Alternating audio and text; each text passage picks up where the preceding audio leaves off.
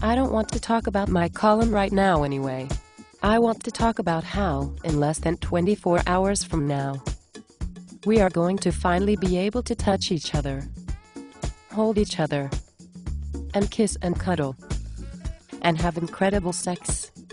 Hmm. Oh, am I interrupting your workday right now? Work?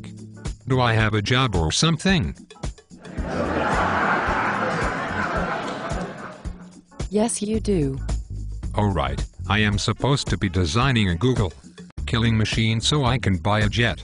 Yes, So we will have something else to have sex on. In the US, most decent broadband is 2 megabits per second. In Japan, more like 10. And Korea, I have heard, is higher than that. When you talk about megabits and broadband, you have no idea what that does to me.